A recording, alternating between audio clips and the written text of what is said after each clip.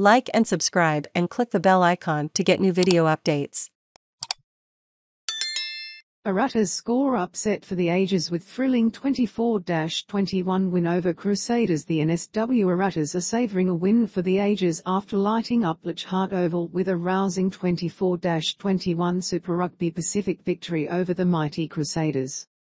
Key points. The Waratahs turned on the razzle-dazzle, then resisted a fierce second half buyback from the 12 times competition champions to claim their first New Zealand scalp in three years.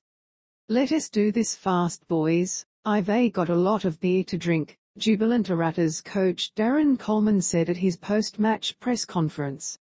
Former seven-star Dylan Pietsch had a blinder, the winger bagging the game's first try in the opening minute in a dream start for the hosts. Pietsch ran himself so ragged he had to be replaced with eight minutes remaining of a pulsating contest between the two great trans-Tasman rivals. Fellow winger Mark Nawaqanitawase also crossed early as the Waratahs stunned the Crusaders to lead 14-0 after only 10 minutes. Winless last season but now emerging as serious title contenders this year, the Waratahs received a standing ovation at half-time, having kept the Crusaders scoreless in an enormous defensive display to complement their champagne attacking rugby. The 'Tahs also dominated the breakdown, with the tireless flankers Michael Hooper and Charlie Gamble effecting eight turnovers to the Crusaders' one.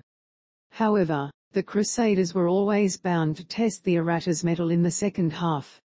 On Friday, NSW captain Jake Gordon stressed the importance of having 15 players on the field at all times, after being reduced to 13 then early in last week's frustrating loss to the Chiefs.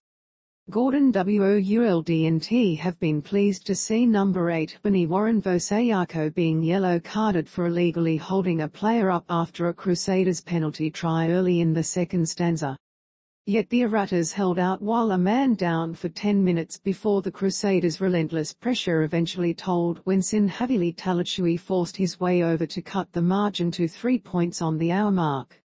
The Crusaders, though, copped some of their own medicine when Hamish Dalzell was red-carded for a dangerous tackle on Hooper, who had to leave the field in a dazed state. Then the Waratahs took full advantage of their one-man advantage, with a rolling maul penalty try that also led to Crusaders flanker Pablo Matera being yellow-carded. Down to 13 men and by 10 points on the scoreboard, the champion Crusaders rallied with a late try to Fletcher Newell, but the Waratahs COULDNTB denied a memorable win. Only their second defeat in their past 27 clashes with Australian opposition, the Crusaders paid the full price for resting four All Blacks, including star playmaker Richie Mo'unga. The victory reduced young Waratahs fly half Tane Edmed, the son of former Balmain Tigers prop Steve Edmed, to tears.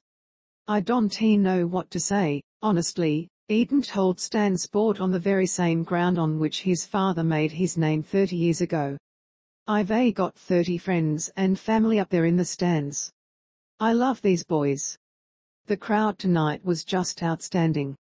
I can't believe it. Coleman said it was an emotional win for the entire franchise. It just keeps building momentum. We had the biggest crowd in two or three years today, he said.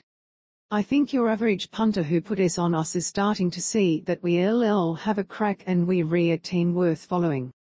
We may not be perfect, but we LL keep fighting to the end, and I reckon that S all that people really want to support.